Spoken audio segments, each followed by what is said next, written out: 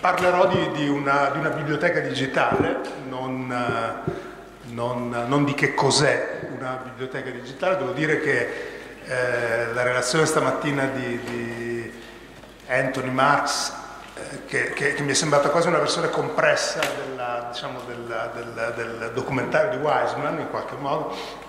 eh, ci ha già dato un'immagine molto forte, eh, anche se molto, diciamo, insomma, in, molto concentrata, del, del, ruolo e del, del modo in cui eh, diciamo, una, una, figura come lui vede il ruolo del digitale in, una, in un'istituzione bibliotecaria importante come la New York Public Library nel, nel, nel, nel futuro, un'immagine credo che si possa definire così una logistica ultra integrata, immaginate che cosa significa mettere assieme i cataloghi di eh, Harvard, di Princeton, della Columbia e delle, diciamo, di tutte le branches della New York Public Library, una funzione di distribuzione digitale molto forte e una, diciamo, su cui è già fortissima la New York Public Library, è un progetto, questo invece tutto in, in prospettiva, di eh, diciamo in qualche modo recuperare la falsa partenza di Google Books, eh, diciamo con l'idea di, di una digitalizzazione attraverso le biblioteche delle opere fuori commercio e orfane, che è un tema in qualche modo rimasto diciamo, a, al palo delle discussioni e della pratica delle biblioteche digitali. Per tanto tempo si è parlato del... Le biblioteche digitali hanno avuto il, problema del, il cosiddetto problema del XX secolo, cioè come fare ad avere all'interno delle biblioteche digitali i contenuti contemporanei. Ma questo in realtà è un problema risolto vedrete fa un attimo la nostra di Lore, una storia che inizia nel 2009, ma alla New York Public Library è iniziata nel 2000 e nel mondo accademico diciamo, gli editori hanno cominciato a distribuire contenuti digitali anche qualche, qualche anno prima. Oggi quindi abbiamo un paradosso per cui il, le biblioteche digitali sono molto eh, piene di contenuti antichi, per semplificare diciamo, le opere nel pubblico dominio, le, le opere diciamo, fino al 1860, via per semplificare, abbiamo una copertura straordinaria del contemporaneo, delle opere in commercio, perché tutti i grandi gruppi editoriali, ma anche tantissimi microeditori oggi diciamo, hanno una larga produzione eh, eh in digitale, quello che manca è in digitale esattamente questo corpo intermedio. Eh, Google Books in qualche modo è, è stato il sogno diciamo, di riuscire a ottenere questo con tanti problemi, problemi posti dagli editori e che poi sono stati diciamo, raccolti anche in sede giudiziaria, può darsi che le biblioteche siano proprio il luogo per, diciamo, in futuro per riuscire a riempire questo, questo, questo, buco. Però io mi occupo di altro e mi occupo della storia di Mlol che è, insomma, ne approfitto per darvi un quadro di dati non solo sull'ultimo anno, ma eh, diciamo, ultimi, eh, sul, sul, periodo 2011-2018. Eh, L'ORA è stata lanciata nel 2009, ma è solo dal 2011. Nel 2009, tra l'altro, eh, diciamo, eh, è iniziata proprio con, una, con una, uh, un seminario che abbiamo organizzato in collaborazione con l'Associazione Italiana degli Editori per proporre l'idea agli editori italiani, idea che però si è concretizzata e è diventata eh, effettiva solo due anni, due anni dopo. Ehm, abbiamo messo a punto molti componenti diversi questi, di questo progetto in questi quasi dieci anni, compiamo dieci anni nel 2019, ehm, ehm, in particolare diciamo, aggiungendo una forte attenzione all'aggregazione di contenuti aperti per le biblioteche, una, una, funzione che intendiamo svolgere sempre di più e che è una sorta diciamo, di filtro dal punto di vista degli interessi bibliotecari italiani su quello che fanno aggregatori di contenuti eh, open come Europeana o la Digital Public Library of America, però declinati dal punto di vista degli interessi di un pubblico, di un pubblico italiano. Ma non voglio assolutamente tediarvi con, con, con, con i dettagli del, del nostro eh, percorso. Oggi però, insomma, a dieci anni dall'inizio, eh, diciamo, le, le, le, dimensioni di quello che noi offriamo sono secondo me significative. eh, siamo partiti senza ebook, oggi il nostro catalogo, considerando il trade e l'academic eh, di tutte le lingue, copre un milione di titoli ed è una differenza eh, sostanziale. Considerando gli italiani e gli stranieri, offriamo un catalogo di 92.000, di 92.000 titoli e sto parlando esclusivamente della collezione commerciale e sono tanti altri, il pubblico, il pubblico degli utenti MLOL è un pubblico aumentato notevolmente, i nostri utenti attivi sono 200.000 ma gli utenti registrati sono 800.000, come sapete nelle biblioteche c'è una, una, una, una ciclicità di ritorno dei, degli utenti estremamente interessante. Abbiamo messo su un sistema di prestito interbibliotecario che consente ad ogni biblioteca, anche piccolissima, anche scolastica, di entrare in circuito con le altre biblioteche eh, con budget minimi. Um, quello che credo sia interessante, e vogliamo sfruttarlo sempre più negli anni eh, prossimi, è considerare i dati di MLOL un campione rappresentativo. Vogliamo farlo analizzandolo noi, ma anche facendoli analizzare a, a soggetti e a istituzioni terze. MLOL è, quasi in, in oltre 5.500 biblioteche pubbliche, statali, di ente locale, accademiche, Stiamo iniziando a entrare nel settore scolastico, eh, siamo in più di 350 biblioteche, ciascuna delle quali singolarmente gestisce una collezione di book. Quindi credo che sia un campione significativo per capire che cosa, eh, che cosa succede dal punto di vista dell'uso dei contenuti digitali. Ecco, il primo dato che, che, vorrei, eh, che, vorrei, presentarvi riguarda i prestiti di book e i prestiti di altri media su MLOL. Quello che vedete è un dato chiarissimo. Nel 2018 noi raggiungiamo, è una stima, però è fatta diciamo, con i dati a fine eh, novembre, quindi diciamo, è una stima molto significativa e comunque fatta per difetto, raggiungeremo 10 milioni di transazioni. Queste 10 milioni di transazioni sono fatte però per eh, una piccolissima parte, 660 mila da prestiti di libri e per il restante eh, 9 milioni passa da transazioni di altri media, in particolare giornali quotidiani, audiolibri, musica, eccetera. Quindi quello che vedete è che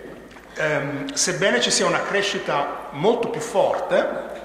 degli, degli ebook, questi 660.000 che sono pochi, sono però il 30% in più del, dell'anno scorso, mentre invece la crescita sugli altri media è molto inferiore, cioè c'è uno scarto fortissimo tra eh, libri e, altre, e, altre, e, altri media su, su MLOL.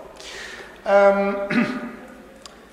se guardate però quello che è successo dal 2011 al 2018 dal punto di vista degli utenti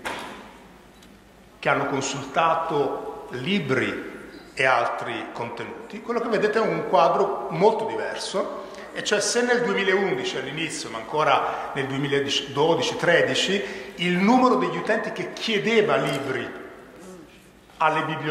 di libri digitali alle biblioteche era molto piccolo sul totale, oggi questo numero è quasi pari, cioè nel, il, gli utenti eh, gli utenti che eh, accedono al nostro sistema chiedono libri in misura praticamente identica a quella, eh, alla richiesta di, di, di quotidiani, di, di, audiolibri, di musica, eccetera. Non solo, abbiamo studiato, non ho qui la slide, ma abbiamo studiato quali sono le prime cose che fa un utente che arriva su MLOL e la richiesta di libri è assolutamente la prima. Poi scopre che può leggere il Corriere della Sera, la Repubblica, eh, il Fatto Quotidiano la cosa gli piace molto, ma eh, diciamo, la, tra le prime cose che fa è c'è una richiesta di libri.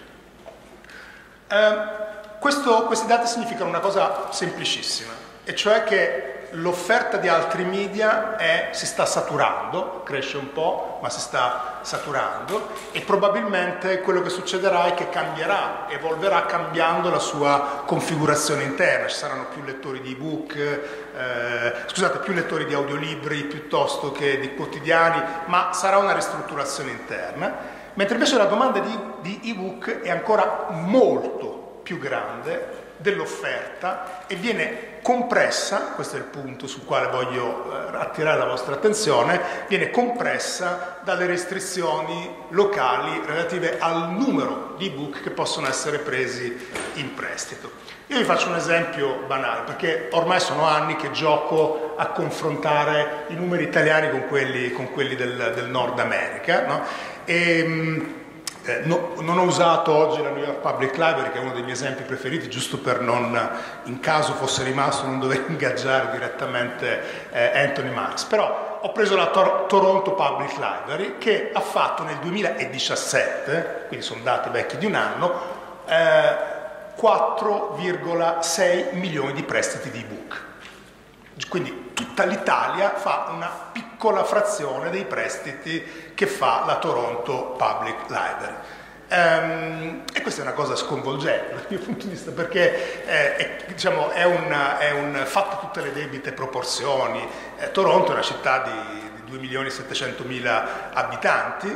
eh, ovviamente hanno tanti più lettori di ebook dell'Italia, ma se anche fossero tre volte tanto quattro volte tanto, questo non giustifica questi numeri. Hanno biblioteche più, eh, più utilizzate, ma di nuovo questo non giustifica i numeri. C'è un punto banalissimo, cioè se voi guardate la dinamica di uso degli ebook, questa dinamica di uso è semplicissima. Gli ebook nelle, nelle biblioteche pubbliche america, nordamericane e canadesi hanno esattamente lo stesso valore che ha il libro fisico. Cioè posso prenderne a prestito tanti quanti sono i libri fisici che posso, fisici che posso prendere a prestito. Alla Toronto Public Library il massimo numero di titoli che, di, digitali che posso avere a prestito contemporaneamente è 30. In Italia il numero medio è 2-3. Questo è il punto, secondo me, decisivo diciamo, sul, quale, sul, quale, riflettere. Cioè, in qualche modo, per ragioni che ovviamente non sono, eh, diciamo, sono, sono ragioni di budget, ma diciamo, quindi non, non, non mi nascondo dietro, dietro, un dito, ma evidentemente questo è un tema, è un tema, è un tema, è un tema eh, significativo. Non possiamo ritenere che la restrizione, che questi dati,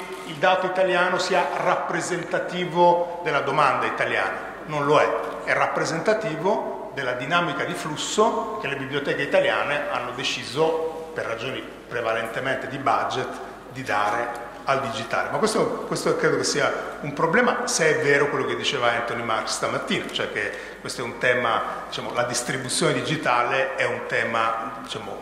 abbastanza rilevante per il futuro delle, delle, delle biblioteche.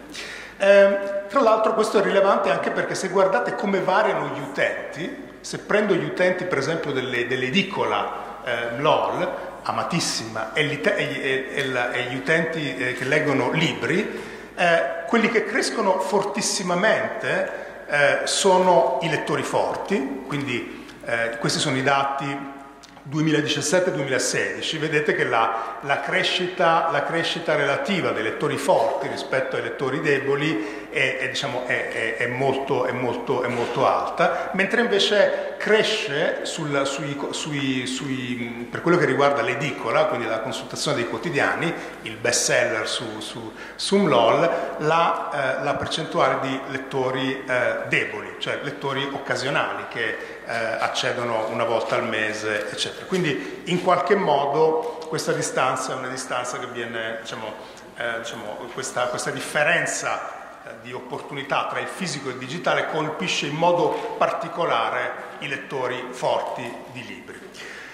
Eh, un altro dato sul quale, che insomma completamente diverso, sul quale, sul quale voglio attirare la vostra attenzione è la insomma, è, un, è un dato eh, classico, ne, abbiamo, ne, ho parlato tante volte, ma è la fortissima differenza nord-sud eh, nelle biblioteche di ente, di ente locale. Ehm, qui c'è una nettissima e incredibile preponderanza del, del, centro, del centro nord, una preponderanza che in modo interessante non c'è nel settore scolastico, dove invece per quanto si tratti di, ancora di poche unità, però comunque di un campione rappresentativo, sono 350 biblioteche, invece il sud è, è, è, molto, ben, è molto, ben, rappresentato, sono tantissime scuole eh, della Campania, della, della Sicilia, eh, della Puglia, della, della, Basilicata, eccetera, eccetera. Ehm, quindi il tema della differenza territoriale è un tema ancora molto forte, se osserviamo, questi sono distinzioni che riguardano, il, queste prime due diapositive riguardano il numero di clienti MLOL, quindi diciamo, potrebbero non essere significative dal punto di vista del pubblico, ma se guardate, questo è, una, è, una, è, una, è uno screenshot di una giornata tipo su MLOL, eh, diciamo, la, la, differenza eh, sud, centro, nord è, fortissima. Ehm, eh, Torino, Milano, Milano in primis, Torino eh, e Roma sono, eh, sono, dei centri e poi c'è eh, la, la, la, dorsale della, della, Via Emilia un'area della Toscana, il Trentino, che sostanzialmente coprono la, la quasi totalità del, diciamo, del, degli usi, degli usi quotidiani della, della piattaforma. Dove si usa MLOR? Si usa al, ancora al 57% su uh, desktop, su computer e per il restante eh, 43% su dispositivi mobili, eh, prevalentemente tablet. Quello che invece è interessante è che se ci domandiamo dove si usa l'app MallReader, la nostra applicazione di lettura degli ebook, eh, scopriamo che il 64% degli, degli, utenti, più del 64%, quasi il 65%, usa questi, eh, questi, eh, questa applicazione su uno smartphone e solo un 35% su eh, su tablet. Ehm, credo che questo diciamo, è che, un dato che abbiamo individuato e, eh, da, da, parecchio tempo,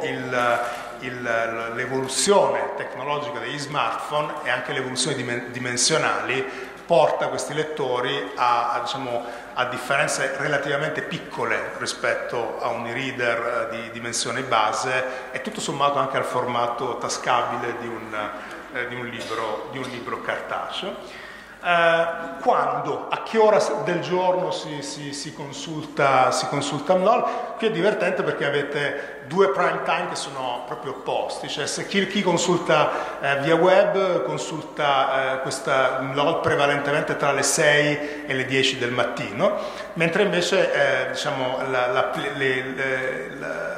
l'uso più intenso dell'applicazione eh, MLOR Reader eh, si vede nei giorni eh, centrali della settimana, ma questo vale anche eh, parzialmente per, per, per, per, gli utenti web, a partire dalle 10 di sera. Diciamo. Quindi il nostro prime time è diciamo, su web alle 8 del mattino e sull'app MLOR Reader alle 10 di sera, ma questo è un, un dato che... Ehm, però diciamo, il dato che vi, vi invito a considerare e che MLOL è usata 24 ore su 24, cioè per quanto ovviamente ci sia una differenza significativa tra le 4 del mattino e le, e le 8 del, del mattino, eh, diciamo, eh, l'ideale di una biblioteca che offre un servizio diciamo, di accesso ai contenuti dell'utente 24 ore su 24, 35, 60, 665 giorni l'anno, è un dato reale. L'altro elemento che eh, vorrei sottolineare è l'e-lending come, come, fattore di cooperazione, cioè come catalizzatore di cooperazione. Quello che sta succedendo un po' in tutta Italia, non ho il, non ho il tempo di approfondirlo, è il fatto che eh, si costruiscono delle reti di cooperazione sempre più grandi, sempre più forti e sempre più, eh, e sempre più eh, eh diffuse. Eh, la più grande è una rete diciamo, che, che, che, che, agisce in Lombardia, che ha come capofila il, il CSBNO, ma ne cito una relativamente piccola che è fatta di 35 biblioteche scolastiche che si chiama Biblò e però sono 35 biblioteche scolastiche che sono, vanno dalla Val d'Aosta alla Sicilia credo che sia un esperimento abbastanza unico, cioè il sistema, il sistema trentino ehm, dove ogni singolo comune agisce nell'acquisto cooperativo di contenuti digitali, eh, questi, e, cioè in perlomeno tre regioni, l'Emilia Romagna, l'Umbria e la Toscana, un intervento diretto dell'ente, dell'ente regionale a favorire la cooperazione delle biblioteche.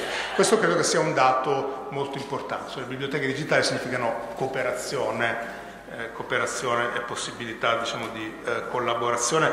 operativa a un livello che probabilmente gli istituti bibliotecari tradizionali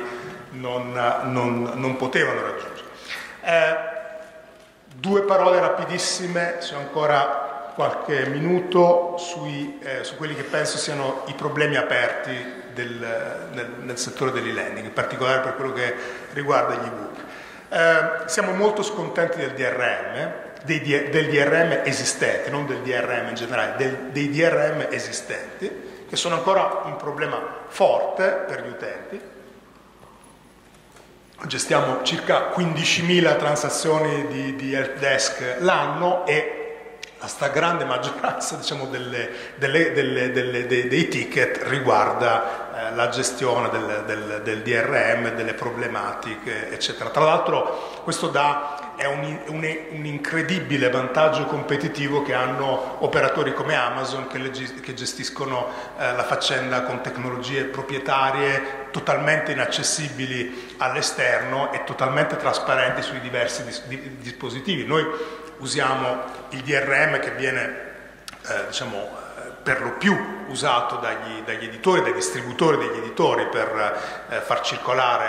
eh, gli ebook ed è un sistema, il sistema Adobe, è un sistema che, che ha dei forti problemi. Quindi pensiamo che lo studio di nuovi DRM sia un, un tema forte, ci sono delle, delle iniziative, eh, c'è, un'iniziativa legata al progetto Ridium LCP, ci sono operatori privati come,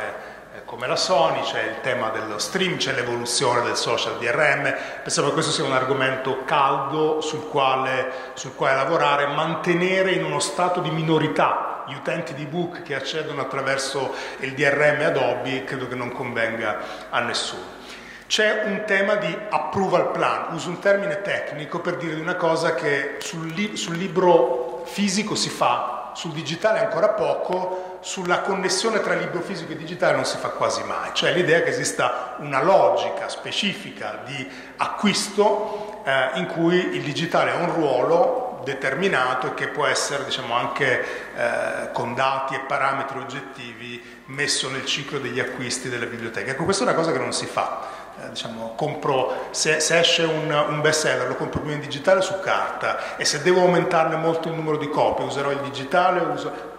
Sono tutte scelte che ovviamente dipendono dai contesti e dalle scelte dei bibliotecari, ma sono scelte che ancora non si fanno, si tratta ancora di due sistemi di acquisto completamente disintegrati. C'è il tema del digitale nella biblioteca fisica. Noi siamo in 5.500 biblioteche di ente locale, ma probabilmente se intervistate un campione di questi bibliotecari scoprireste che loro non considerano questo servizio, che pure è pagato dalle loro istituzioni, spesso tanto, come un loro servizio. Addirittura in alcuni casi non viene messo tra, nell'elenco dei servizi della biblioteca specifica. Quindi abbiamo una rete bibliotecaria che magari fa un investimento consistente e il singolo bibliotecario che percepisce questo come un servizio esterno. Questo è un errore. È un errore così come sarebbe un errore considerare un servizio esterno il catalogo semplicemente perché viene gestito da un fornitore esterno. E infine c'è un problema di formazione, un problema di formazione fortissimo perché in tanti contesti eh, noi sappiamo con dati certi che è in primis tra i bibliotecari, che c'è un divario digitale, così come accade nel mondo della scuola, che c'è un divario digitale importante. Su cosa stiamo lavorando? Quali sono le aree di ricerca? E qui chiudo rapidissima, eh, rapidissimamente. Um, un dato interessante sono gli open data, che sono insomma, un'espressione un po' gergale eh, che vuol dire tutto e niente. Dal mio punto di vista open data significa eh, spingere tutti eh, a rendere pubblici i dati di consultazione, i dati catalografici, i dati che provengono dal mondo delle biblioteche, perché le biblioteche insomma, ogni, sono frequentate dal 10% in alcuni territori dal 15 dal 20% della popolazione, generano un volume incredibile di informazioni sulle abitudini di lettura degli italiani e, e, però noi continuiamo a utilizzare ancora pochissime fonti commerciali costruite a campione eh, e non, non, ci interessiamo a questi dati. Ovviamente avere open data e renderli utilizzabili non è affatto una cosa semplice, ma pensiamo che questo sia un lavoro sul quale eh, merita iniziare. Ci sono delle biblioteche che hanno già cominciato a farlo. Stiamo lavorando moltissimo sul, sul tema, del, sul tema del, del, diciamo di modelli di intelligenza artificiale, in parte per usi banali o perlomeno consolidati, il sistema di raccomandazioni, eccetera, è un tema classico, gli operatori commerciali raccomandano per vendere, le biblioteche devono raccomandare sulla base di criteri eh, diversi, ma ci sono anche altre aree eh, interessanti di, per esempio di collaborazione sulle, sulle, sulle di chiuso digital humanities sulle quali vogliamo lavorare. Metadati, alta definizione, eh, AAAF, ehm, ehm, diciamo, rendere disponibile a tutte le biblioteche anche un'infrastruttura di, eh, diciamo, per, la, per, la, condivisione di immagini ad altissima eh, definizione. Mi fermo qui e vi ringrazio.